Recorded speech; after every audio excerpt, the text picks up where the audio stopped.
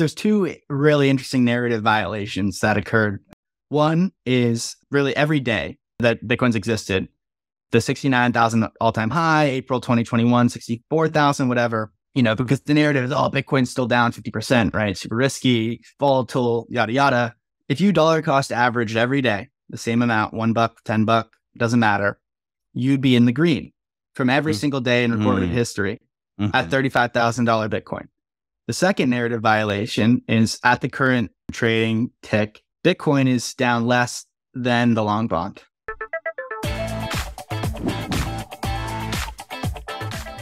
Hey, so uh, the last time we talked, I think we kicked off the conversation talking about AI and how you were using it to code in Python and do all these things that you had never even had a class on, but you were doing all these miraculous things with charts and data. I'm kind of curious uh, how that's evolved since we've talked last.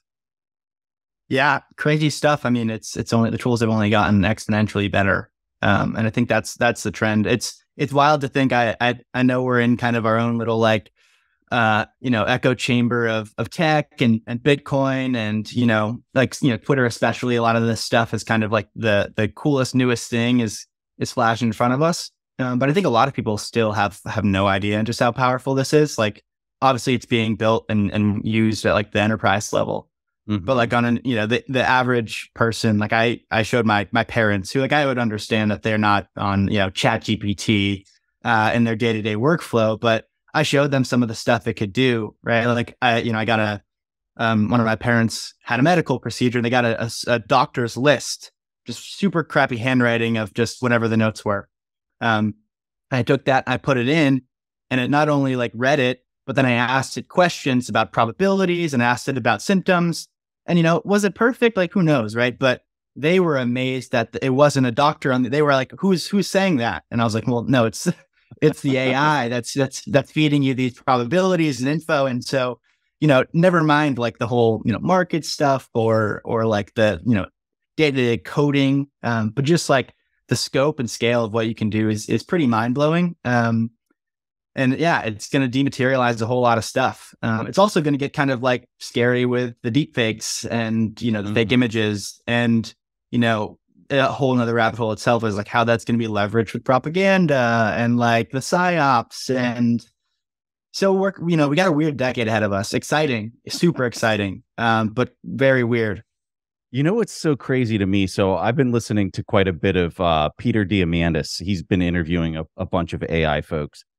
And uh, there was a there was a gentleman i think his name is Emad. He was on he's like a leading expert in in ai and he was just talking about how much like space these models are taking. So like gpt-4 and i might be wrong but i'm i'm pretty sure this this number is correct uh, quoting his interview.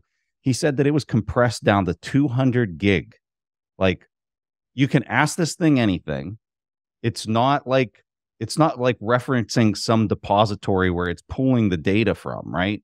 Like it has eh, after they trained it, it has been compressed to just 200 gig. Like I could store that here on, on my computer here at my house. And then I can ask it any question.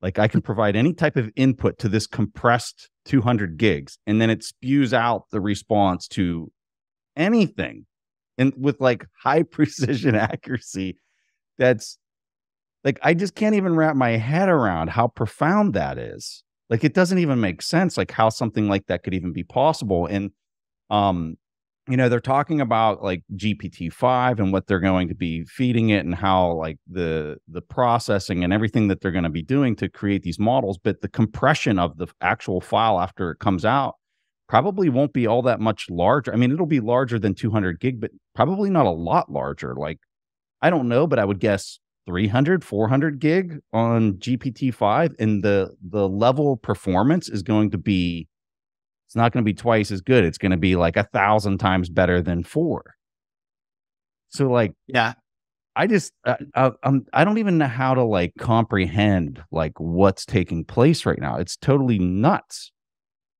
totally nuts um i mean you got to give him a lot of credit jeff booth was coming on here and he was talking about he was getting you know doing the folding paper analogy and you fold it 30 times or something and it goes to the moon or the sun or what there was some like exponential um analogy he would always give. And, you know, like the AI stuff and like all of like Moore's law, it, it sounds good. And you're like, whoa, that's really incredible. And then to watch it happen in a year, two years, like every month, it's like leaps and bounds better. You know, you can submit a picture of a meme and it breaks down the meme, like, like no text, just an image, right? It's just like, wait, this thing is, I mean, it's not thinking for itself, but it's, it, I mean, to us, it appears like it's thinking for itself.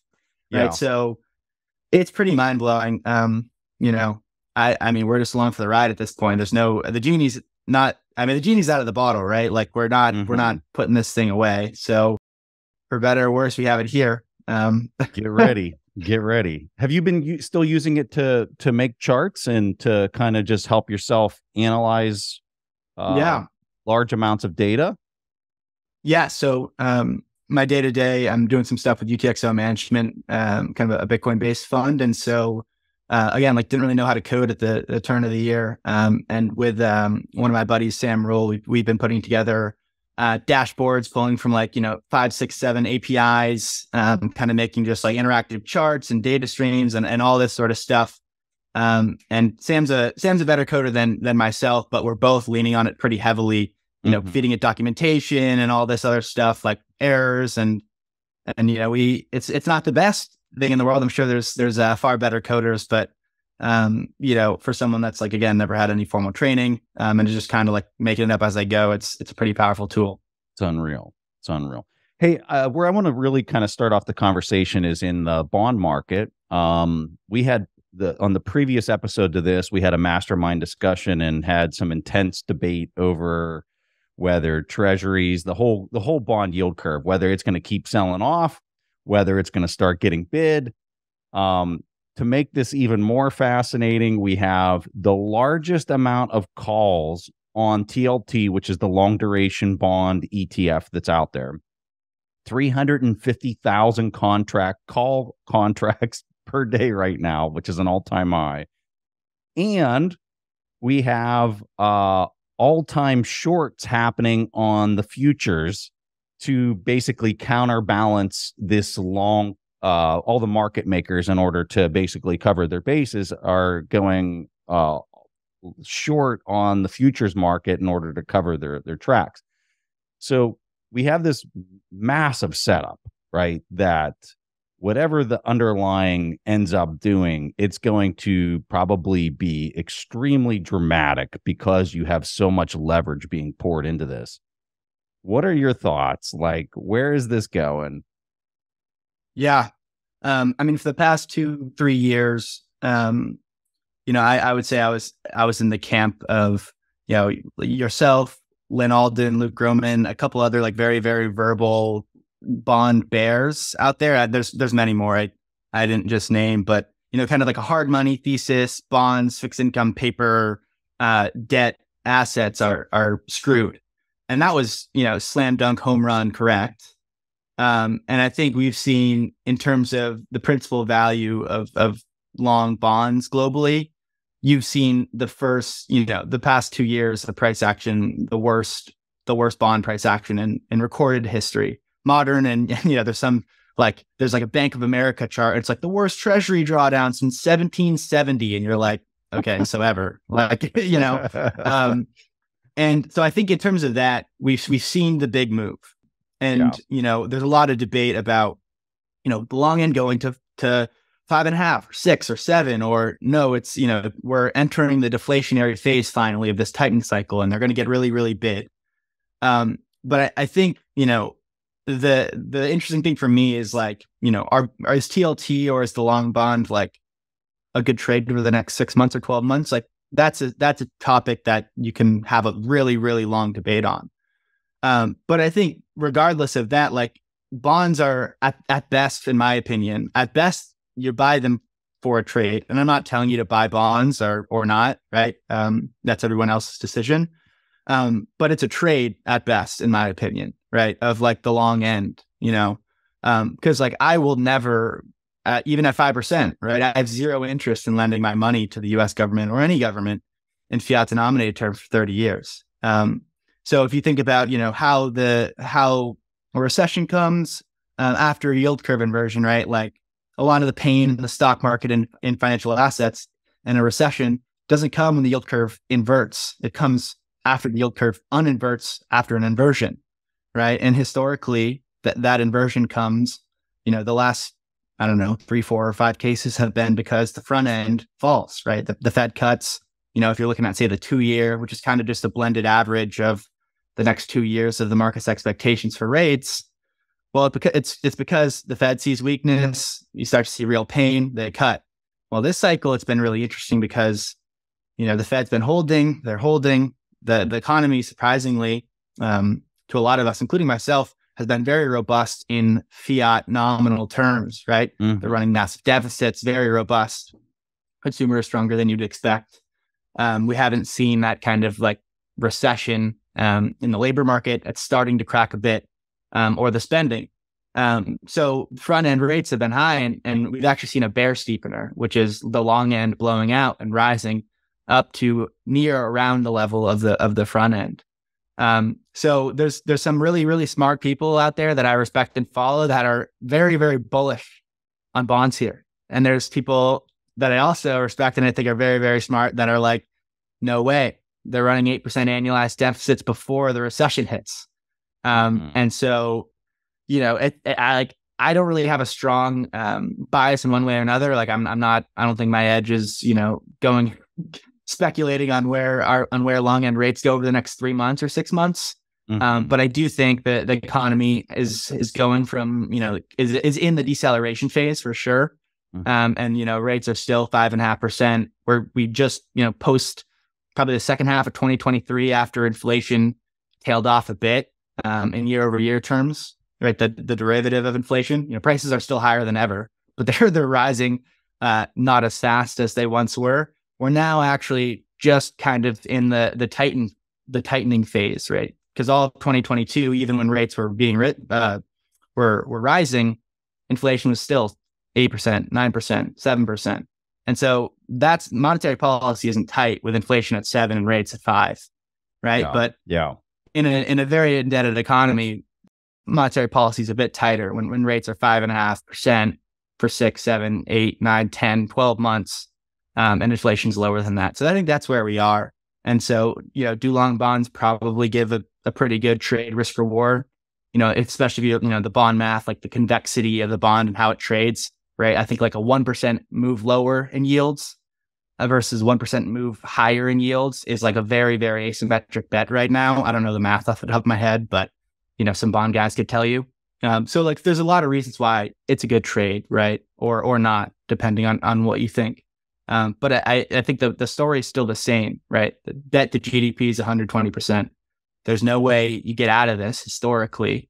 You know, look at every single financial analog in history without a sustained period of inflation higher than interest rates, right? So, you, do you want to buy and hold long duration paper in that environment? No, you don't. Um, and I think that's unchanged. You know what I think is a really important point that you're making here right now? What you're really talking about is speculation versus investing, right? Uh, when we look at the size of the of the of the money that's going into this market right now, we're talking trillions of dollars. I don't think you can classify it as investing. I think you got to classify this as speculation. And we're talking about speculation to the tune of trillions. Because to to the point that you made, it, nobody's buying this to hold it for 30 years. Nobody. Absolutely nobody. Because everybody can look at the math on the horizon and say, oh, yeah, like if you're holding that to maturity, you're going to get wrecked. I think everybody that's buying it long knows that.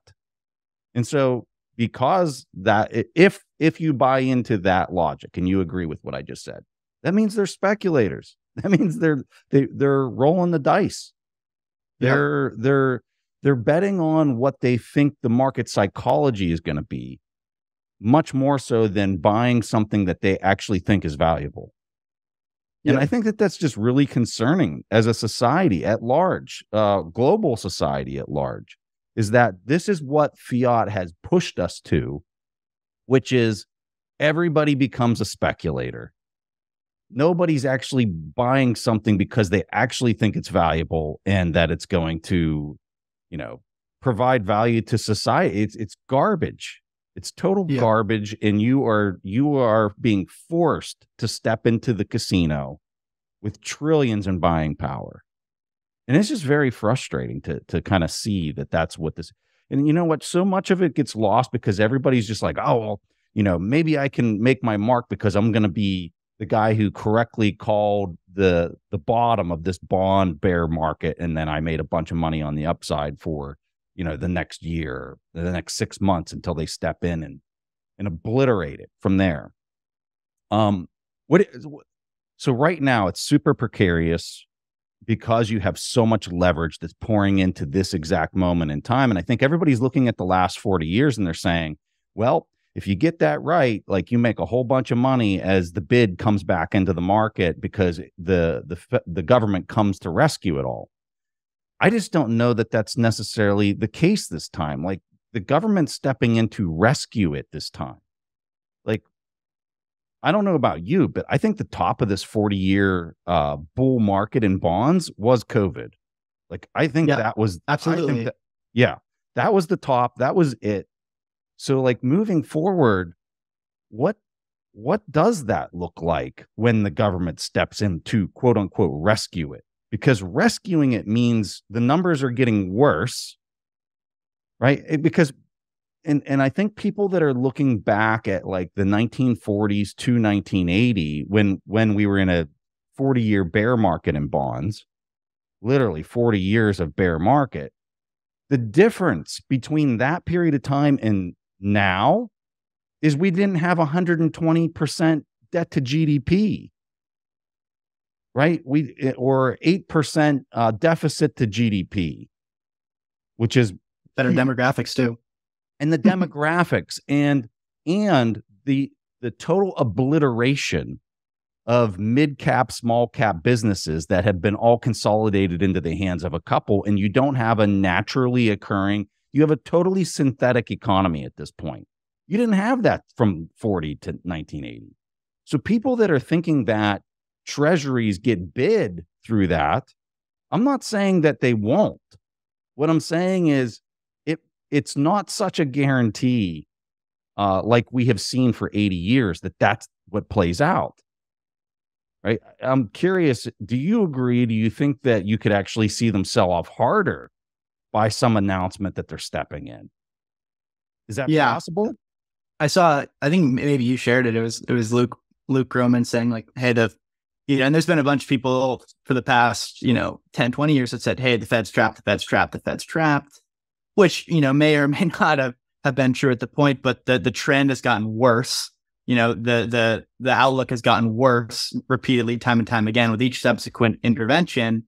And now it's it's it may may or may not be true, right? Where uh, you correctly called BTFP basically a, a you know yield implicit yield curve control for the banks. You're bailing out the banks and their bond exposure while leaving Main Street hanging.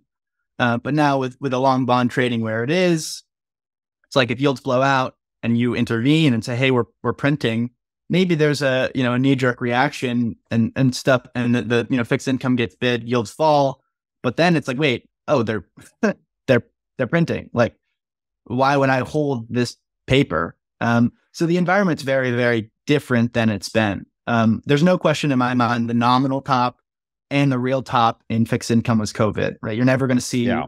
I, I mean, even even if, and I, I am extremely skeptical and doubtful this happens, but even say we we see the 30 year trade back to one percent, which is, in my opinion, is absolutely not happening. I agree. Um, I agree. But even in that scenario, you've had 30% inflation since that point. Mm-hmm. Right. So so for for you to get back to your all-time high purchasing power terms in fixed income, you need to see yields go negative, which like again, this is a bizarre world that doesn't exist in a free market, right? Like the, the whole reason that anybody besides someone that was mandated to buy fixed income or bonds at 1%, the reason that they would possibly be bullish the reason people were buying a hundred year Austria debt, right? Or, you know, negative debt for, you know, German bunds was, oh, well, if it goes more negative, I make a boatload of money. Mm. And so like that whole environment is, is done, right? The 60, 40 inverse correlation of bonds and stocks. that everyone's made a bunch of money off of, you know, 2022 was a shock for them because bonds got killed, stocks got killed. Um. Now in 2023, bonds are flat. You know, they they rebounded and then since have sold off, and stocks have killed it. Big tech has killed it. You know, Fang plus Nvidia and Tesla have killed it. Mm-hmm. Um, and that's just started to to normalize. But now it's really interesting because, and I don't think this is so much of like a directional indicator um, of like you know it's, it's buy stocks or buy bonds or or or you know short short one or the other right away. But if you're looking at like like the equity risk premium ERP difference in in expected earnings, expected yield of investing in stocks and bonds, it's the lowest it's ever been in recorded history. Right. Mm-hmm. So so is that saying that that the bonds you know go up, uh, decrease in yield, or does that mean that stocks are grossly mispriced? Right. Like the the basket of of tech. Really, I mean, it's just that the top seven equities, the top seven stocks everything else, the Russell, everything's been getting been getting killed. I think there's like 30% of of companies in the Russell don't make any money. They're like mm-hmm. cash flow negative. Mm-hmm. Right. So like all of this stuff is completely different than it's been in the past. We don't have a balanced, you know, a, a balanced uh, economy here, like you said. We have this distorted kind of passive, zombified, you know, equity index environment, um, where again, no one's really conducting like investment calculation. They're just, no. oh, you know, let, like, let me just buy QQQ because QQQ has positive momentum. Yeah. Um, and so, yeah, there's a real, real potential, in my opinion, for for pain. Um, you know, whether what what that looks like if the Treasury continues to run two trillion dollar deficits, that's really interesting because I don't think anybody and no portfolio manager, no no one that's invested in the United States in in anyone's lifetime has experienced that but you know maybe maybe who has? Well anybody that's kind of invested or ran money in in an emerging market right? Where they understand this environment they understand what happens in an environment where you have just no, just absolutely no fiscal prudence and you're just you're just printing at will you're issuing money anywhere and everywhere. You know 100 100 billion dollars to Ukraine and Israel or you know what like whatever. I'm not even getting into the political left right. I don't care about that. It's more just like, oh, you know, debt ceiling doesn't matter. Actually, we're going to issue $2 trillion and just let it rip. Yeah. Um, and, you know, I think that should be pause and a cause for concern for anybody that's, that's, you know, managing money, right? It's like, you know, what's your benchmark? Um, and that's in flux, right? Because even the official like inflation numbers, right, may or may not actually be an accurate indicator of that, right? I think there's a real good good case for even equities, right? Instead of like 2021 inflation adjusted terms being maybe not like a generational top, but being a top for a while, right? If you, whether you want to use CPI or some shadow stats or M2 or whatever you want to use, right? If you just look at where the S&P 500 traded, like as a basket, and you put it and you say just divide it by CPI to keep it simple, right? We may just be in for a decade of job, right? Where like stocks do a decent job of maintaining or kind of quasi maintaining your purchasing power, but it's not the free lunch up eight to 10% year over year compounded returns that people were used to for the past decade, two decades, four decades in the case of like, you know, the baby boomers. Um, so that's a real interesting thought too. And I don't think many people have, have, you know, kind of ran through those ideas. I, the, the thing that I think people are uh, missing with this basis trade that is just insanely levered right now is if the spot does take the prices lower, the bond prices lower, and the yields higher, you're going to have a squeeze of epic proportions that quickly make these numbers that don't look like they work today from like a fiscal standpoint and just totally amplifies the living hell out of them. And um that's when things potentially could get really, really crazy.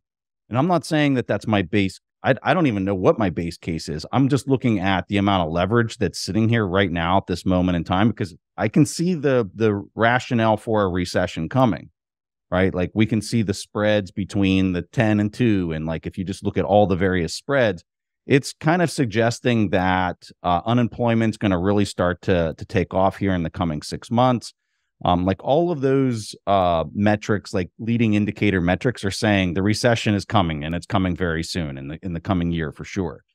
Um, so like I can understand why people might think that that's what's about to play out here, but if it doesn't, because there's so much leverage at this exact moment, like it could get really hairy really fast. And uh boy, I, I just can't even imagine what that would result in. But no question, no question there. I guess I'm just highlighting. I think this is really, really important for people to pay attention to this bond yield curve right now. And um, you know, if they can't keep the oil prices in check and some other things that are leading and uh, you know in, indicators of inflation I think that's going to be the thing that potentially tips it or uh, maybe causes people to really have to unwind this this really hard position that they're taking right now that we're going to get a, a bid uh, into yep. the next 12 months. Um, I, I 100% agree. Um, I think I think I maybe said it on on on your show at the end of last year, at the end of 2022, and I mean here we are with with yields having you know broken the the 2022 highs they made. It was uh, it was a really interesting stat. You know, just a small sample size, two of two, but it's something I think everyone should ponder. Um, and it was the last time. This was in 2022, but it's the last time stocks and bonds drew down um, to the magnitude that they did in 2022 of like 20 percent plus each. Um, was two separate occasions, and it was 1931 and it was 1969. Um, and in each of those instances, two years following, the U.S. defaulted on its debt. Um, mm-hmm. They broke they broke the gold peg in both cases. Um, mm-hmm. So you know maybe that's not a technical default, however you want to think about it. You know, but FDR seized their gold, and Nixon said we're not we're not honoring the gold the international gold peg. So I mean, here we are with fiat currencies, right? We have no gold peg. So what is and with you know with 120 percent debt to GDP, whatever it is, maybe I think it's a bit higher at the at the current moment you know, there's been 53 instances of, of governments reaching that level ever. And all of them except modern day Japan and the US currently have defaulted, either implicitly or explicitly. Explicitly means, you know, they literally didn't pay it back in the case that, you know, the the the debt was in, say, dollars or another currency or gold, or implicitly because basically they had inflated it away, hyperinflated, or just, you know, a sustained period of financial repression. And even like modern day Japan, right? You see what's happening with the yen right? Everyone goes, well, Japan's got away with it for so long. And I say, okay, yeah, look at the yen. like, like, yeah. So, right. If you think about what's Japan doing and to address their debt, well, they're doing yield curve control, you know, and they've, they've gone from a 25 basis point peg in the 10 year to a 50 basis point peg. And now they've said, well, we're targeting 1%. Right. And so Japan, every time the yields and they've moved it, right. But every time that the 10 year goes above that that peg and you see, you know, the swaps market and a bunch of speculators shorting that debt, challenging, shorting the bonds, shorting the currency, um, basically speculating attack um, the, the central bank, they just print more money, right? And then they, on the other side, they sell their yen or they sell their they sell their dollars to buy the yen. They sell their treasuries and buy yen. And so they're trying to maintain the, to play this impossible game. And they do have a lot of foreign exchange reserves. But I ask people, say like, okay, well, if you're analogous modern day Japan, like if that's your like, oh, the US can get away with this, right? For so long. Like they can they can do what Japan has has done. Don't worry about it.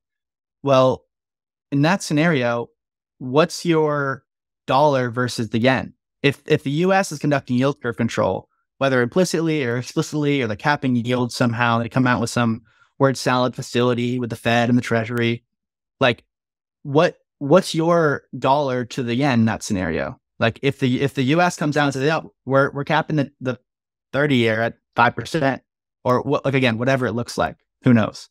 The BTFP on steroids, right? With more complexity to kind of fool the the modern day person as to what's actually unfolding. Um, what do you do? Like what as an investment manager? And for me, like I think you see Bitcoin react as the dollar is doing against the yen on steroids mm-hmm. right? That's that's what I made, and gold too, right? Um, but again, like that, if there's we're in like really unprecedented territory, and there's really there's no actual aside from you know an unprecedented productivity boom, which maybe your thesis like is is AI does that, right? We see just a massive real productivity boom. Sure, uh, I respect your opinion if you think that. Um, but aside from that, there's there's actually no way out other than a sustained period of inflation and and basically the central bank punishing creditors and savers. And so that's that's where we are, and that you know that's completely unchanged. Two points to what you were just saying. The the uh, the productivity boom because of AI uh, is so laughable to me that when when I hear people say that, it's like, okay, so in in the past when productivity happened, it was because there was humans that were that were in the loop. What we're talking about now moving forward is humans not being in the loop and it's being consolidated into more and more robots and, and software. But um the uh, the other point that you had brought up as as far as the implicit default uh, in the 30s and uh, in 69, um, I think for people that that hear that and they're like, okay, so we came off the gold standard, we came off the gold standard. So what would that be now? Well, we're working off of a quote unquote petrodollar system. So what it would look like now is is a total erosion of that relationship. And uh, so just for for people to think about, right? Yeah. What what would that look like? Well, uh, I think we're seeing that right in, in, real time, and we have since uh, since COVID happened, where um, a lot of these net producing oil uh, nations are they're not having it anymore. They're not going to save their retained uh, earnings for the physical material that they're delivering uh, they're not going to save that in treasuries when the treasuries are mathematically bound to just keep going uh, to, to keep getting debased, aggressively debased, just based on the mathematics, right? So, yeah. Well, I mean, it would probably look like, you know, the US draining its SPR um, at the fastest Bingo. rate in history. Bingo. And, you know, uh, the biggest oil producing nations like Russia and Saudi Arabia and Iran and yada yada yada, all you know, attempting to to reduce their exposure of treasuries because of of conflicts uh, abroad, and you know, so you know, if we ever saw that happening, it would it would be really um, curious. Time to yeah. wake up, folks. Time to wake up. Wonder what wonder what we're going to use as something that we can all agree upon that doesn't require trust, that is bound by energy. It's like, Oh my lord. Okay, we were talking about uh, gamma squeezes there. T- talk to me about the Bitcoin price action this past week because we, you know, one morning I got up, it was like at twenty nine thousand in USD terms, and then then at some point in that same day, it was at thirty five thousand for a six thousand dollar move. What is causing this, Dylan? Or what caused that? Yeah, so uh, you know, options market's quite quite the fun one to to dive into because there's all these Greeks and terms, you know, gamma and delta and theta and vega, and it's a bit esoteric, but uh, essentially, what happened for most of 2023, especially following the, and this is a bit of an oversimplification, but I think it it, it holds true, is after we saw all these counterparties blow up in 2022, specifically like the the genesis of the world who are who are you know borrowing and lending uh, in, in Bitcoin terms and dollar terms and a, a, bunch of different cryptos. We saw you know, and they all blew up, right? Um, and in t- since you know 2023 started, Bitcoin's gone from like 18,000 to 30, and for about six months was ranging around. And you saw record levels, low levels of realized volatility in Bitcoin and implied volatility in Bitcoin. Uh, mm-hmm. Uh, and for those that aren't familiar with the difference, realized volatility is just how much the actual price action is is moving around, and you can just look at price for that. Implied volatility for the S and P 500 that'd be the VIX, or for bonds that'd be Move, the Move Index. Um, and for Bitcoin, you can look at something like there's a bunch of them. BVIV is one of them. Uh, this company named Volmex is, is doing this. They're using Deribit options. There's also like DVOL and a couple other ones. But essentially, that implied volatility, and uh, you know these indexes are only a couple years old, so we don't have too much to work with um, as the options market's grown bigger. But implied volatility was near record lows, um, near all time lows, as Bitcoin was just ranging around from 30, 30,000, 25,000. And so what you saw was because the genesis of the world blew up and there wasn't really any, and again, there's no way to natively get yield on your Bitcoin. It always, it always is, um, you know, that you are taking some, some risk. It's, you know, whether it's hidden or not. Um, but you know, those lending vehicles all blew up. So you saw a bunch of counterparties. Um, I think you know, room the rumors kind of where some of them were in China. Uh, we don't really know; it's a bit opaque. But to to to get that Bitcoin native yield, and I it's honestly technically incorrect to call it yield, but for the sake of the conversation, we'll call it quote unquote yield. They were selling call options. So Bitcoin's at 28k. I'm going to sell next month. I'm going to sell a $32,000 call option. And so as long as as long as the price of Bitcoin doesn't go above 32,000 or you know the volatility stays low, it goes down, I collect a bit of a, a fee, a, a premium. And so I, I, I get that in Bitcoin terms. And so you saw basically this this trade just get rolled over over and over again throughout 2023 of selling calls, selling calls. Whenever Bitcoin pumped a bit, sell a call. And it and it almost in a synthetic sort of way. And obviously hindsight is 2020, but you see this happen oftentimes with you know, uh, indices or like a like a Tesla, right? Or even like the meme stocks of the world. A lot of the you know massively uh, dramatic volatile moves, upside or downside, are amplified by by these dynamics in the options market, mm-hmm. gamma squeeze. And so they were selling these options, and basically, you know, different than maybe a traditional just short short exposure. I'm shorting an asset where it's one to one as price climbs the the pain of this short call trade was amplified with each additional uptick in the mm-hmm. Bitcoin market. So they were short, but their short exposure both because of the price action and the volatility. As volatility spiked and as price spiked, it like it compounded their pain. Um, so that's why you know price went from thirty thousand to thirty five thousand in about three seconds or like five minutes was just because there was this massive short trade out there. Um, and so they blew up, right? So it's like picking pennies in front of a steamroller for all of 2023. And, you know, someone out there evidently blew up. Um, and Galaxy actually this morning, um, and who knows uh, when this episode's released next week, if if we see them get squeezed again, but it looks like they may have rolled over some of that short exposure and they, they're now short up into the, you know, high 30s, 30, 36, 37, 38, um, short gamma once again. So gammas gamma squeezes can work both ways. I can also, you know, sell puts, right? I can sell puts as income and I'm short that option. Um, and I can get my face ripped off in the other way. But it's pretty interesting. It's a very nascent market. It's very liquid. Um, mm-hmm. you know, the, the, the spot market volumes are the lowest they've been in a while.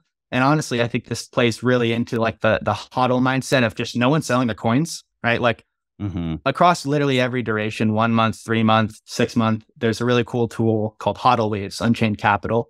Um, showed it, and it's basically showing how much Bitcoin hasn't moved since X period, you know, and basically across every single duration you look at, one month, three months, six month, one year, two years, it's an all time high amount of Bitcoin that hasn't been moved.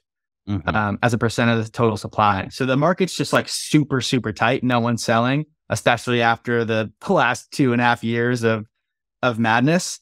So, you know, if there's any inflows, you know, the spot ETF rumors, all of that, you know, there's not a whole lot of Bitcoin to go around, um, mm-hmm. you know, especially if there's forced buyers. So that's where we get some really aggressive moves. And you see, you know, weeks where the NASDAQ and S&P and bonds are down 5% and Bitcoin's up 25, right? Like that's, that breaks a lot of models. I just wanted to jump in here and tell you about this new valuable resource that we created for you. The biggest challenge to taking control of your personal finances, improving your investment returns, and building a better future is just getting started. This means getting organized, having a plan, and being disciplined. As Mark Twain once said, the secret to getting ahead is getting started. If you're not satisfied with where you're at financially, whether that be not having enough savings at the end of each month, watching your cash being eroded away by inflation, or maybe you're not sure where to get started with investing. Down in the description below, we put together a free guide for you called The Four Simple Steps to Take Control of Your Personal Finances and Life. You can get this free guide by clicking the link in the description below.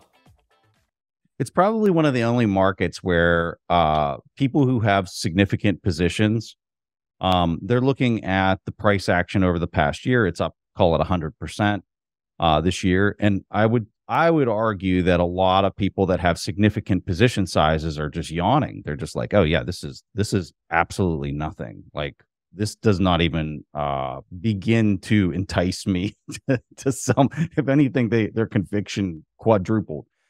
Um, and I don't think that that's normal. That's that's not what you would see in any other financial instrument that moves a hundred percent in a year. Like people would be, you know, taking taking some of the win and doing other things and looking for the next trade or whatever. And you do you do not have that for people that have significant position sizes, or at least the people I talk to that have what I what I would assume are significant position sizes.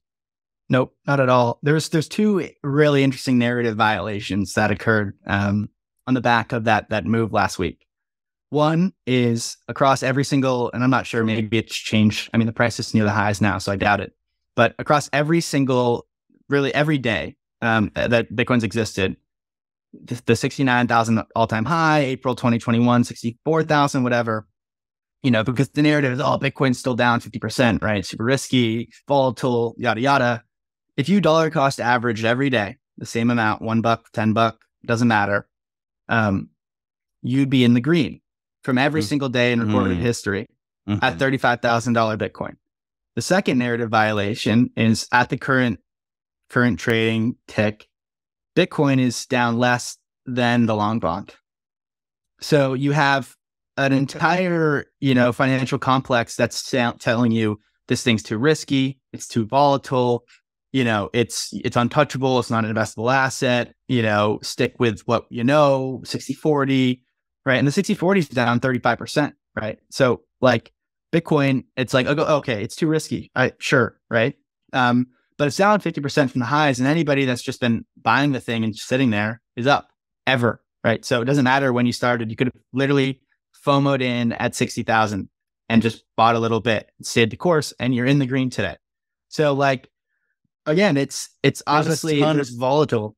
Dylan, there's a ton of people that that's how they do it. They just dollar yeah. cost average on the week or by the day or by the month. And that's just it. So, yep. And and if you don't believe the math, go do it. And you're going to yep. be shocked at what you find. Yep. You're going to be so shocked. it's it's volatile, right? It's always been volatile. Um, but like that and it sounds like a meme when Bitcoin's, you know, 70% from its highs. But the volatility is quite literally your friend. And you can do the math. You can like again, I'm not telling uh, my baby boomer parents that aren't in finance what a Sharpe ratio is because they don't care, right? But but if you're in finance, like run the math, do the you know look at the Sharpe ratios, you know run the the passive because like all these 60-40 portfolios are passively indexing as well. Mm-hmm. So if mm-hmm. you're doing that math, uh, well, do it do it on a Bitcoin spot index, right? Um, yeah. And so where yeah, it's it's far too volatile. Great, um, but the long bond's down 55 percent on no volatility, right? So, mm. so what does that tell you about about you know all the preconceived notions uh, of the you know the finance industry and Bitcoin? And so I think that's a lot of conversations happened last week in financial advisor circles. You know, the spot ETF hasn't rolled out. I you know who knows? I think it's probably Q1 of next year at some point. Maybe there's you know a couple things on the regulatory front that happened before that. Um, you you posted a good article last week um, on kind of the the narrative of like you know the terrorist financing and and all of that. Who knows like how much of a, of a deal they try to make with with tether and binance um, we have yet to see and they've they've mentioned some of that stuff in previous etf filings or, or denials. But i think it's quite clear the only reason like people people um the narrative i saw was pretty funny. They were like well yeah bitcoiners are capitulating to wall street you know? They're celebrating the spot etf and i'm like no capitulation is happening the other way. Like the the Bitcoiners don't care.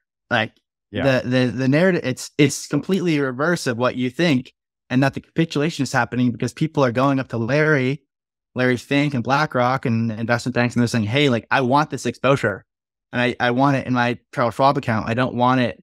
You know, on I don't want it on like Coinbase or I don't want it in your private fund that's a liquid or whatever. Like I want it just like how I have my other ETFs. And so like that, the capitulation is happening from Wall Street capitulating in, right? And they're the ones that are knocking on Gary's door, Gary Gensler, and saying, we want this thing. Um, mm-hmm. It's not the other way around. One of the, on the idea of the Sharpe ratio and talking to your parents, here's a metric that I just find mind blowing.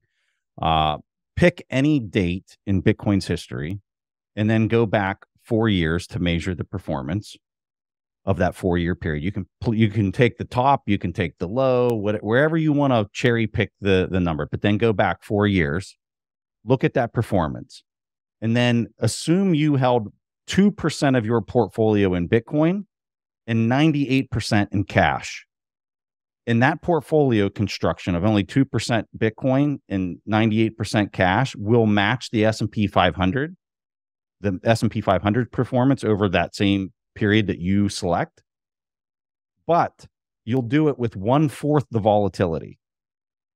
Okay, that for people that uh, are trying to understand what the Sharpe ratio is, it's it's it's showing you performance. So you're matching performance with only a two percent versus a hundred percent in the S and P 500, and you're getting one fourth of the volatility in your portfolio. Um, and yep, you you select the four year period, and that, and the reason why you do four years because Bitcoin has a four year halving cycle, and I think that that's uh, probably a, a great way to kind of understand the uh, the cycle theory. Like if you're talking about like a traditional cycle, or at least the way it used to work uh, in equities, it was ev- every eight years or whatever. I think that that's getting smashed like a hammer, but um but anyway, so that's just a, a, a, another neat metric. You were talking about dollar cost averaging. I think that's another one for people to to dig up and look at.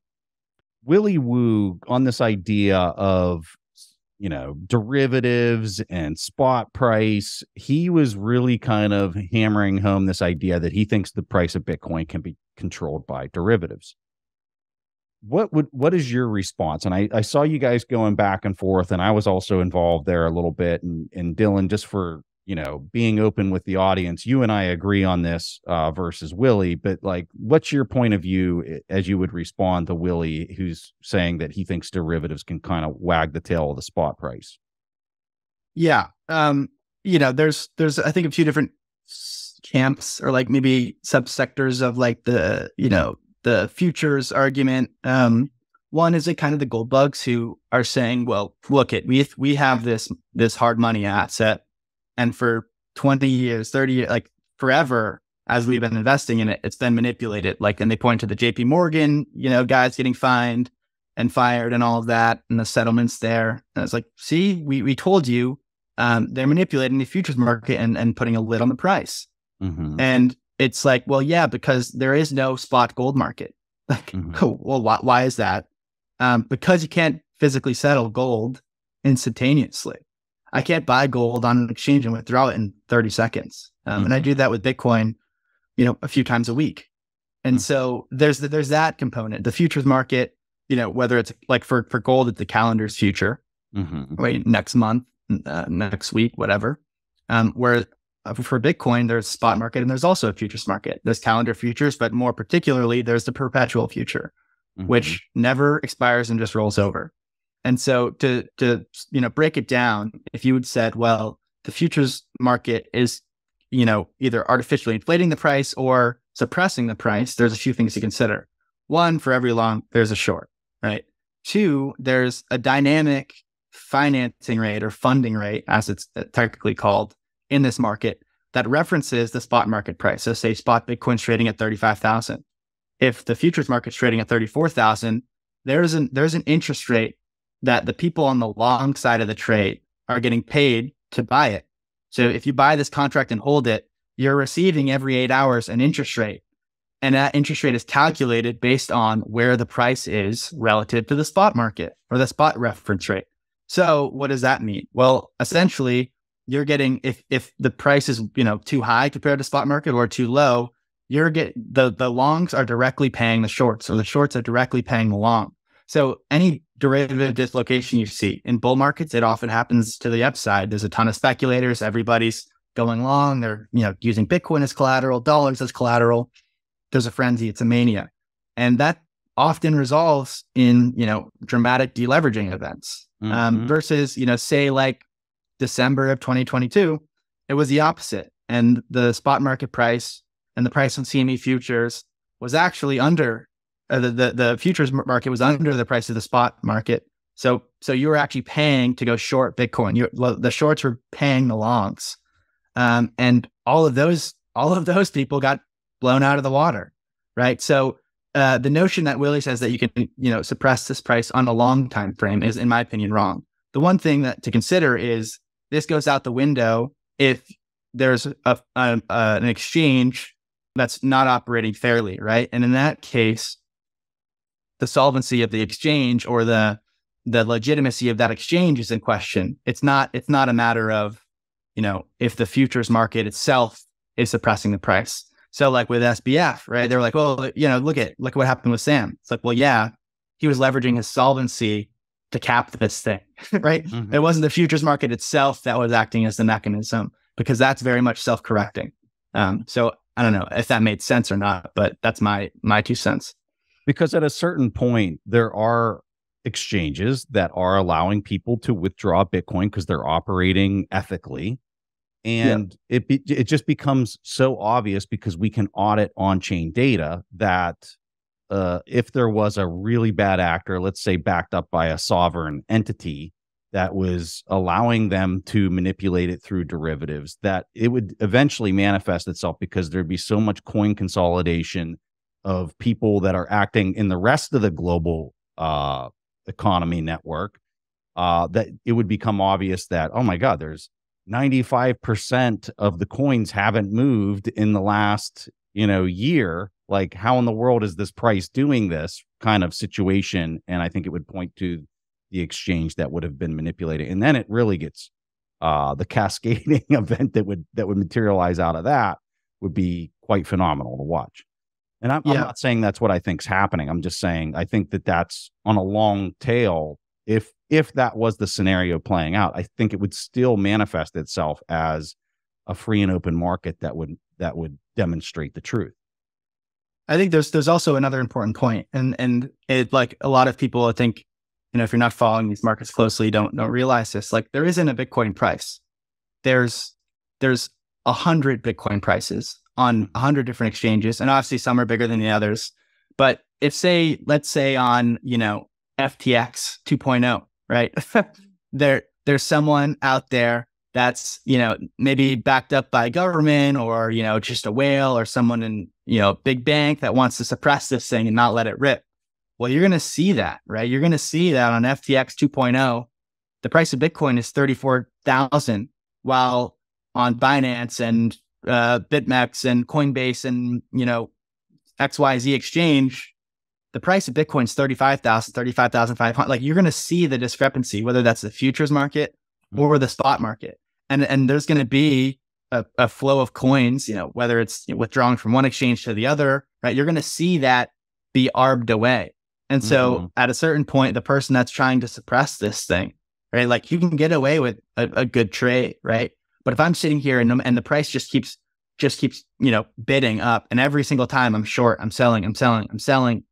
Well, it's like, I mean, you're, you're trying to suppress a beach ball underwater uh, at some point and you're going to get blown out of the water. Like no one has infinite Bitcoin denominated capital, right? So that you're going to get checked, you're going to get called on your short position.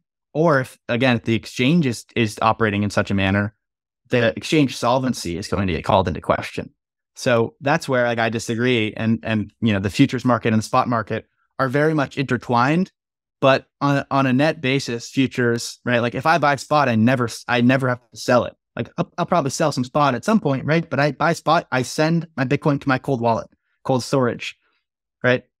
If if I enter a long position or if I enter a short position, at some point in the future, I have to close it. I can never just log off and never like. Mm-hmm. There's always a net negative or net zero effect, net negative if you account fees. Um, so again, the, this is where I, I, think it's it's a nuanced debate or conversation, but it because of the instantaneous settlement of it, because of the fund of flows, because I can buy and, and settle immediately, it's quite different than let's say a gold gold futures market.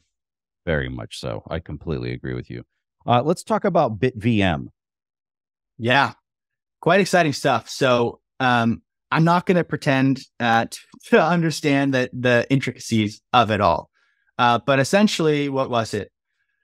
Uh, earlier, like two three weeks back, um, bit this guy Robin Linus publishes a white paper. Um, I'm in Amsterdam um, for the for the Bitcoin conference that's happening later this week, and this guy publishes a paper, and it's basically like, "Hey, um, we you know here's a proof of concept we figured out how to do compute off chain with a virtual machine and verify it on chain with a fraud proof. Essentially, it's it's not again, this isn't a great technical way to, to or correct technical way to say it. But in the same way, Lightning has has a system of channels where it, it can verify that hey, if Preston says you know he sent me hundred thousand satoshis and he didn't, and he tries to cheat me, right? I can steal. I can I can take your funds, right? Like I can. I, there's a fraud proof there that if you do, if you're lying, right? I I can manually force that channel close and, and and make sure you're not a cheater. That's what keeps people honest in Lightning. It's a similar sort of of um, dynamic in BitVM where there's there's off chain computation, and by computation, I mean if you think about a lot of the stuff that you know these altcoins say they do, right? Smart contracts and referencing an Oracle price and then derivatives and swaps and all this other stuff. And not that the, the exciting thing here isn't to create the altcoin complex on a Bitcoin on a Bitcoin um, channel or a Bitcoin denominated uh, system. The real exciting thing here is that the value prop per se of the Ethereums of the world was you, there was all of this functionality that Bitcoin couldn't do. Bitcoin's just a boring rock, right? You can only send and receive. Um, and Robin basically figured out how to with just with just simple Taproot implementation um, and it's sim- you know simple proof of concept, but they've been iterating on more and more complex um, designs and versions of this, um, adding and layering a bit more complexity. And actually, I spoke to Robin for a couple hours um, uh, in Amsterdam and went to a, a Bit Devs literally the, the day after it was released. And there's like three or four core developers there, and it's like a hyper technical convo. And he spoke about they're they're working on creating basically their own version of of, a, of their own coding language, essentially like a Solidity, like an Ethereum style Solidity, where they created like Solidity was actually created for the Ethereum virtual machine, right? And all that compute goes on chain. Well, Robin and and the the guys that are working on BitVM realize that you don't have to the the innovation of this is you don't do the compute, you don't do all the verification and the computation on chain. You do it off chain on a virtual machine and then peg it back in to the chain. So all the the side chain stuff and swaps and stable coins and all this stuff that people have been talking about as a theory and pegged assets, right? That that wasn't ever possible with Bitcoin. And now there's, you know, it's still proof of concept, but we now have the ability to do this sort of thing and verify it into the Bitcoin channel. So I think, you know, probably the, the TLDR is that the value prop for basically the entire altcoin complex um, is, you know, it hasn't been realized yet, but gets destroyed um, because you can't scale everything on chain, right? That was like the essence of the fork wars, if you remember, obviously. And I wasn't around, but I, I read the history of it. Um, of like, oh, we need to infinitely scale the block size to accommodate for all this global global finance. And the, you know, the Bitcoiners and user activated soft fork said, no, we're not infinitely scaling it. And so B Bcash was created and Bitcoin SV and all this stupid stuff where they, you know, scaled up the block size by a crazy amount. Um, and then you have, say, like with Ethereum, right, where you're doing all this complex computation on chain, right? And it's cool, it's innovative. I complete, like, I, I understand it, right? But every if you look at every time, even just a, you know, NFTs or meme coins or Shiba Inu get launched on Ethereum, right? what happens? Gas fees spike to the moon, right? Meaning gas, meaning the computation to settle settle that contract on Ethereum because there's so much demand for this block space, right? So what emerged? Well, all of these layer twos, right? Optimism and Arbitrum and and all these other altcoins, right?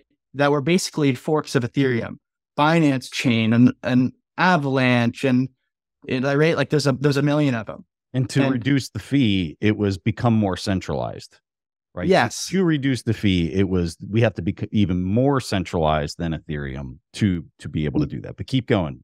Essentially, right? And the Solanas yeah. of the world were all uh, you know a little bit different implementations, right?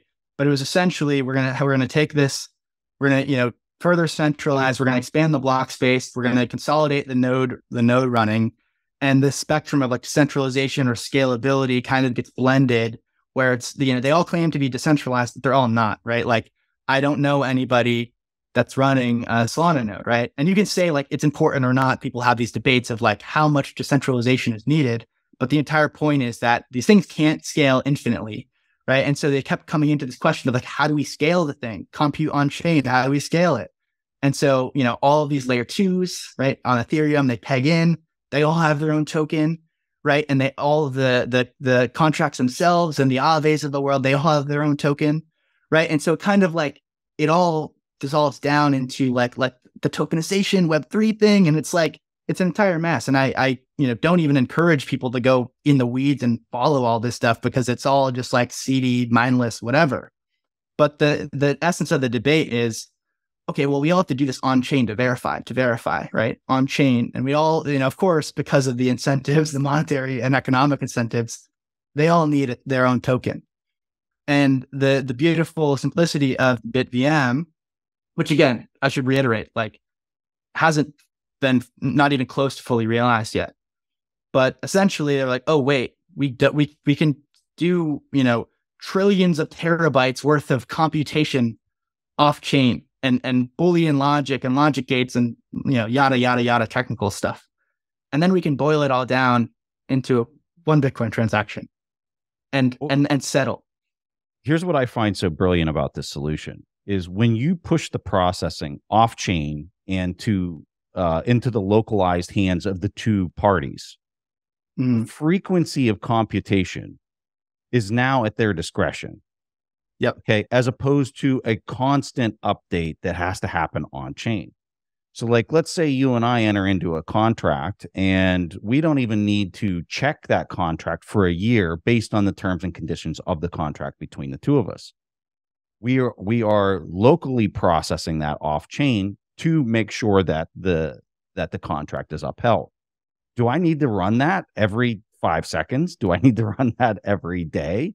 No, I need to run it like once once we're getting close to the year or at that at that moment in the future when the terms and conditions of the contract specify that there needs to be some adjudication of the contract so think about the yeah. energy reduction think about the efficiency of this because we don't have to do that on chain we just need to validate it on chain after like we come to the terms that there's been some type of event that that exercises the contract and if we yep. understand the frequency of that, like this is so this is so much more intelligent of a way to do smart contracting um, that people were talking about for years. We just didn't know how to to do it. Um, you know, I I said that it, that this BitVM thing is almost like they found silicon in in the blocks because hmm. now you're able to uh, do assembly. They're doing the assembly language now in order to to um, do the if then or statements with what they're writing into the layer ones. And I th- I think that another thing too is like so how does validation work? Well, validation works through the, through the debasement of the uh, native token of the quote unquote blockchain of these other of these other blockchains, right? So you're paying for that validation, you're paying for that processing and computation that's constantly happening through the debasement of the of the native token. You don't have to do any of that with this BitVM solution. I don't know. I, yeah. I find the whole thing fascinating. Where I'm a little bit at a loss, and, th- and this really comes to just my my lack of technical expertise, is is where this fits relative to like what we're seeing with the Taproot asset protocol that Lightning Labs just came out with. Are they complementary? Are they competitive? Uh, I just don't know, but I, I, would imagine they're complementary to each other, but I, I truly don't know. And if there's people that are listening to this and you want to put some comments out on Twitter and uh, when we post this episode, I would love to read uh, what people think about that. Um, yeah, I'm curious. Do, I, do you know Dylan? I'm just assuming. I no, I mean, I I don't have a, a very nuanced take there. Um, I think the the really interesting interesting thing is the you know Taproot was rolled out no, you know November timeframe 2021, and for for a while it was like you know there was somewhat of a narrative whether it was trolling or not. It was like oh this thing was yeah that was stupid worthless right. It was like you did, why you didn't even need that thing, and then ordinals came out and then but yeah, and the, like again, I I don't think speculating on JPEGs is the most interesting thing in the world, or you know BRC20 tokens, which was a, literally a JSON file to transfer a synthetic token that was valueless, useless on a blockchain. Like that's not exciting for me, but the the cool thing was like where an Ethereum NFT is essentially like a you know an image file linked to a website. Well, like actually with with the ordinal protocol, you're actually saving it on the blockchain. So is it is it computationally efficient? No, it's not. But there's a bunch of cool people that are saying, like, oh, hey, like we have this immutable decentralized database essentially, Ledger. Well, what if we put the WikiLeaks files on Bitcoin forever? Right? Like what if we what if we do the and and it's there forever? So like again, I don't think that's like the most interesting thing for this. I think the most, you know, the biggest market in the world is global money. But there I think the the point I'm getting at is that, you know, basically two years after Taproot was was rolled out, we see things that nobody had thought was that people thought this this BitVM style implementation was was impossible. It was it was never achievable. And so now, once it was launched, you had a whole bunch of people, even like the smartest guys in the world. I saw like on this stuff, core developers, you know, Adam Back, right? They're they're they're like, wait, how does this work? And you know, I, I saw Robin the whole time we're at Amsterdam, we're in the back room, and people are coming up to him, and I'm only following, you know, 50% of the convo. And it's like, wait, how does this work? and there's four core developers at this BitDevs. And and Robin does an hour presentation explaining the white paper piece by piece. Someone raises their hand and goes, Wait, so what's the point of this again? And it was funny to me because I was like, these are like literally like the giga brains of the world, and they're and they're, you know, there's so much complexity, technical uh, jargon here that it's hard to follow. And so, but the, the real exciting thing is once people kind of get the basics of it, and they're uh, they're going and doing a hacker house and getting this language built out and documentation and specs. I think there's going to be a Cambrian explosion of of innovation and development on this sort of stuff. And not again, not that the exciting thing for me is like like a Uniswap where you, just swap valueless tokens and whatever. Like I don't care about that. It's more so that Bitcoin itself has extremely strong you know, uh, trustless elements to it, decentralized trust, trustless elements. Like I don't have to trust my counterparty. I can, yeah. I, you send me Bitcoin, I don't have to trust you, right? Um, it's it's verified, um, and so now if we have, oh, I was just going to say this is where AI comes in too, which you're yep. saying it's going to be an explosion of growth. It is going to be an explosion of growth because this is effectively assembly language that they're doing for if and or gates eh, on like blocks like that would take time to build out and to write and to make sure AI, I mean, that's what the that's what it's primed for is taking this really obscure stuff and just like you can ask it a couple questions and it's like banging out stuff so fast. And the implementation can just happen at a at a pace that is somewhat unimaginable, I think. Um sorry, yep. I interrupted you again, Dylan. I'm sorry. No, no, no worries. I, I think it's a great point. And so the this I don't think we can imagine what's going to be built in terms of whether it's again whether it's you know, derivative markets right or like lending markets right and whether that's exciting to you or not is is a question but also if you think about bitcoin being integrated with the global financial system and everybody was like well you see like it can never work because the seven transactions per second and you know it's it would it will never scale for a global economy and you know, the, the block subsidy and Bitcoin's going to be insecure. And like, well, what if we abstract a bunch of this stuff to higher layers that all has, you know, a, it all takes the trust out of the loop, right? And we can, we can have a trustless verification, whether that, whether that's a lightning implementation and channels, right? To just for just, you know, micropayments or value transfer, or, you know, more complex smart contract languages where we can do the things like, you know, the integration with like, imagine if we have uh, you know, a BitMEX, but instead of a crypto casino, it's a, a it's a stock settlement platform, right? Mm-hmm. With Bitcoin integrated at the base layer. Like again, that sounds super hyper unrealistic, right? And I'm just kind of throwing out an idea. But all these things that were previously never able to be built unless there was a centralized infrastructure at the center of it mm-hmm. can now in theory right with a virtual machine with an you know essentially infinite compute can be built Right. So, so what's, what's going to be built? I had no idea. And that's like the most exciting thing is that someone, we, we figured out the implementation of it. Not we, I, I didn't certainly. Some really smart people did, but that's where it's exciting. And again, I have no idea what comes of it. Um, but uh, there's going to be a Cambrian explosion of activity on Bitcoin. And I've seen personally, just you know, side channels, back channels on Twitter, a lot of the people in the altcoin space that have left that let you know either they were developers or even just speculators or followers, investors, if you want to call them that, um, that were you know interested in the the weeds of all the technical stuff happening on the altcoins because again, Bitcoin was this boomer rock that nobody could develop on or do anything with. We're all are all saying like, oh wow, like this this makes me question like a lot of the underlying assumptions I had about Bitcoin and like the, the quote unquote investment thesis, quote unquote, of these these altcoins, et cetera. So I think you're going to see a massive amount of like mind share come back to Bitcoin. If not, it's already happened.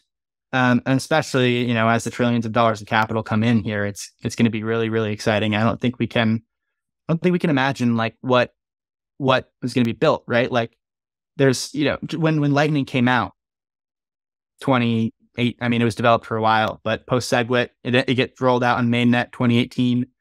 Could you have thought, you know, four years later, five years later, that we have like lightning backed stable coins, right? USD synthetic stable coins and derivative markets on Bitcoin, trading futures and all this other stuff. Like that's built, right? And some, you know, the Trux models aren't, some of them are, you know, more centralized than others, right? Of course. But all of that stuff is coming for sure. And it's going to be, you know, it's, it's going to get faster, better, safer, uh, more secure, and, and and less centralized, more trustless. So it's quite exciting. This is the last one I got for you. So, uh, what is something that you're seeing in this space recently that you think is underreported or not fully appreciated, or that just needs to have a, a light kind of shined on it? It's a great question. Um, well, I, I don't think I have too much to you know to add about like the ETFs and stuff. I think a lot of that stuff's been covered both on both sides of like this is hyper bullish, um, or like you know the downsides of like oh well it's not, not going to get approved for X, Y, and Z un- until this happens. I don't think I have too much to add there. Um, here's here's something. It's it's a little bit niche, but I think it's it's pretty fascinating. Um, last cycle, you saw a lot of the miners, um, which again the, the mining industry, we, you know the Bitcoiners talk about it a bunch. Um, you know, there's there's now kind of a, an investment landscape around it. There's like 20 or so public companies, 10 billion market cap or so, maybe 15. I'm not sure at the top of my head, but they basically almost all of them um, were close to blowing up at the bottom of the cycle. And you know, I know a bunch survived, um, but they were all levered long their ASICs, right? ASICs collateral, Bitcoin, Bitcoin collateralized loans, no one hedged. Everyone was doing a HODL model. and uh, it was max pain scenario. Difficulty and hash rate went up tremendously, right? Hash rate all time highs. So I think like, what was that? The high, it was like 150x hash or 180x hash. And now it's like 400 something, like just mm-hmm. crazy mind boggling. Um, versus, you know, the price went down 80%. So this max pain scenario where their, their hash price, my revenue per uh, per terahash got decimated. Um, and I think one of the more interest, interesting things out there is the advent of a hash rate derivatives uh, marketplace. Um, mm. Um, so there's like a couple companies doing this. Um, Luxor's doing it, um, as well as Block Green, different models. Um, but you know, Luxor has like quite literally a hash price futures curve, whereas mm. Block Green has a and and the the age old question is who's the buyer of a hash rate derivatives contract? because if it other than it's maybe a speculator meaning like who's the buyer of, of hash rate and how do you like like who's a natural buyer of future hash rate especially in a scenario where you continue to expect it to go higher and higher um, and so like you know the block green model is doing it in a bitcoin denominated way mm-hmm. that every single contract like it's it, there's a ton of disclosure there's a ton of transparency you know i know your balance sheet i know your power prices i know your operational efficiency your, your previous ASIC uptime and I can come in and, you know, say we expect difficulty to be, you know, X, right? There's some there's some assumption baked in. Well, similar to kind of like a bond market where there's a credit rating system and a and a yield excess of the risk-free rate. Well, similar to that, there's on the other end, there's uh, lower and lower discounts um, to what you would expect that that fair value or that that hash rate production to be. I can be a buyer of your future hash rate mm-hmm. at a 10% discount or a 15% discount. So this allows for two things. one in a brutal bear market, you can come in and I can I can instead of raising debt in a frozen debt market or selling equity, I can sell future hash rate production in Bitcoin denominated terms to raise liquidity.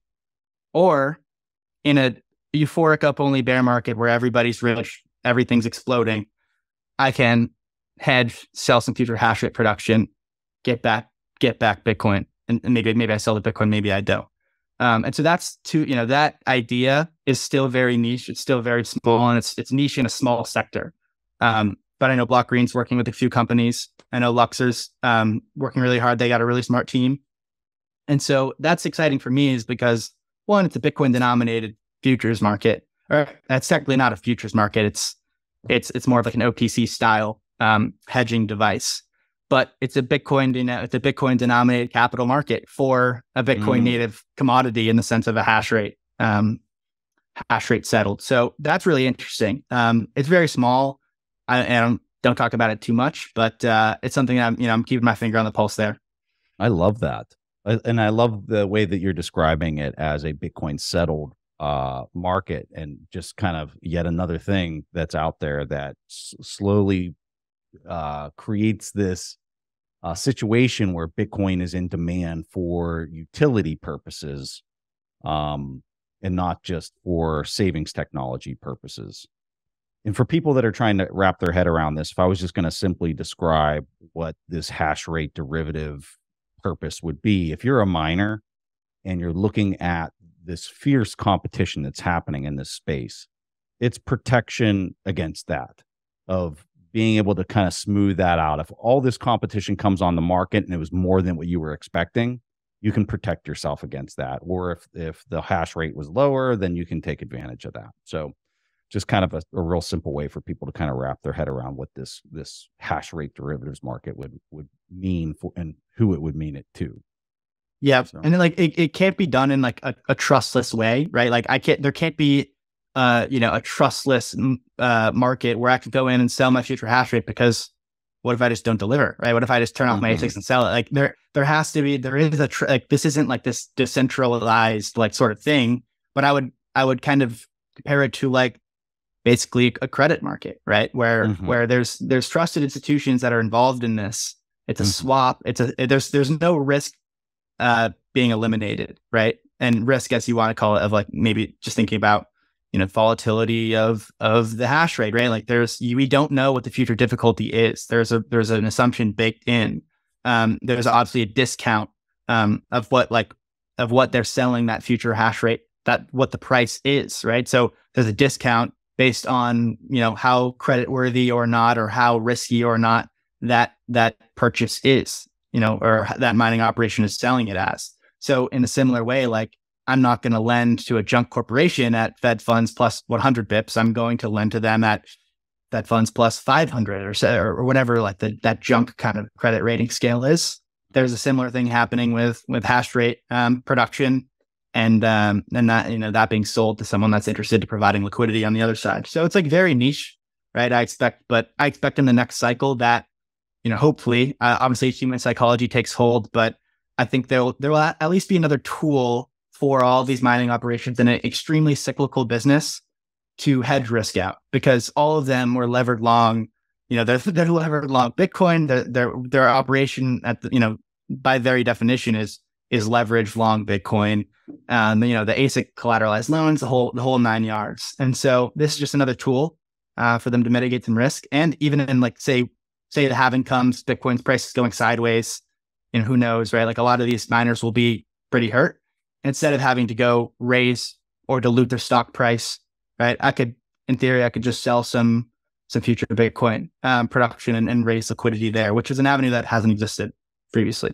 One of the things I find so fascinating about this whole space, so like when you're talking about how they're levered long and how competitive this this industry is, all all I can think is it's a massive incentive for those rigs to flow into naturally abundant energy source regions.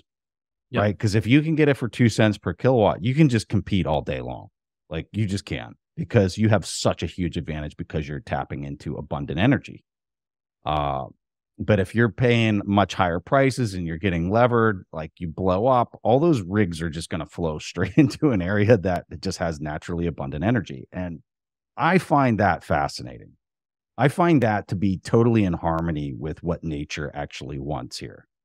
Um, and just, you know, uh, no point other than I just, I kind of, no, it's, it's, it, I it's marvel. a fantastic point. I it's, just marvel. it's not understood that point of like, you know, you'll be, oh, what's going to happen in the next halving when their revenues get cut in half as if it's like a gotcha. And it's like, well, what's going to happen is the inefficient commercial miners that are mining on grid energy are going to go under or they're going to have to sell. And, you know, who's going to be mining is like someone in the middle of the, the, you know, North Dakota Bakken who has free energy because they're, they're flaring with natural gas. Um, or, you know, some, you know, eh, like excess free energy in some, you know, hydro dam that is has way too much, you know, has has way too much energy and and no one to buy it. Like this this process of mining and whatever you want to assumptions you want to bake into like what fees are going to be in the future or Bitcoin price, right? You can do like Bitcoin denominated assumptions or dollar denominated. This is going to be commoditized and the winners aren't going to be these massive scale, you know, consolidated mining operations.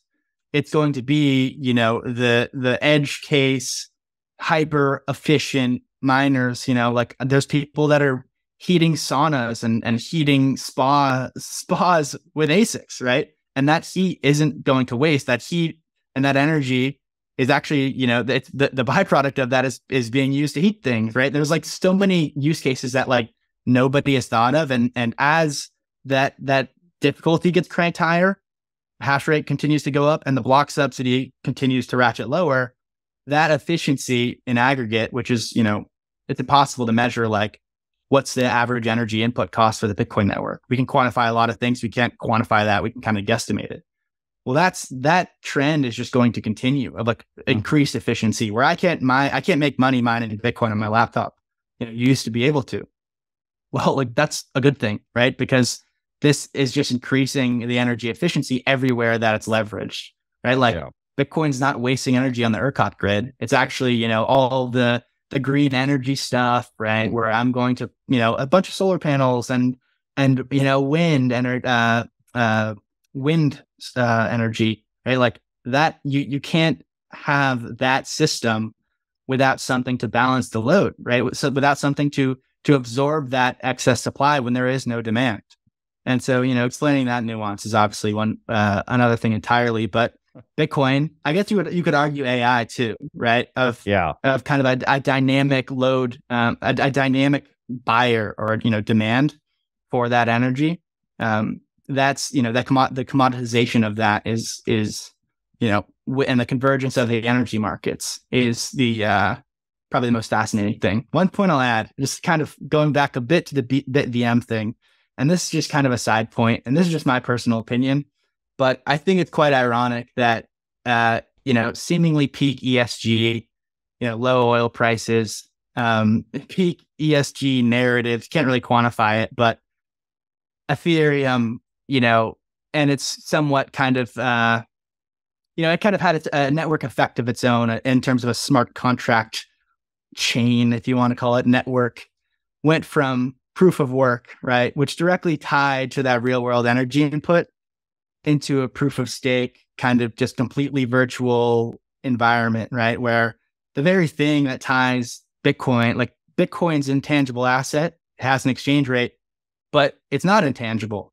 right? Because it takes me $40,000 to produce Bitcoin if I go mine Bitcoin in my garage and plug it in or you know probably $60000 per bitcoin or whatever that my energy input costs are like there's a tangible aspect to that mm-hmm. so it's mm-hmm. not just this like you know un- intangible digital asset that's synthetic it, like it is but there's a marginal energy input cost like that's the same reason why like commodities have value mm-hmm. um, and so it's the first bitcoin's the first thing that like has a completely inelastic supply relative to demand with an input cost and that's like I mean, that's the the golden goose, in my opinion. That's like the aha moment of like this thing is like becoming increasingly harder to produce forever. like uh, that's that's you know the the magic aha moment that I don't think many people have had. Um, and I think it's a bit ironic that you would purposefully kill that, but that's a different discussion entirely. I love it. I love it. Yeah, for the person that walks up and says, uh, "What's going to happen when all these miners?" Well, sir, we're actually going to have a free and open market, and we're going to find out who deserves them and who doesn't.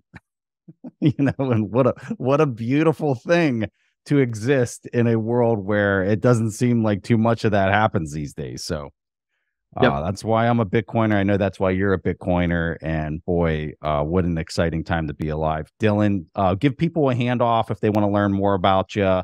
Uh, thank you for making time and coming on the show. I know I learn a ton from you every time we get a chance to talk, and it's just always such a pleasure. But give people a handoff.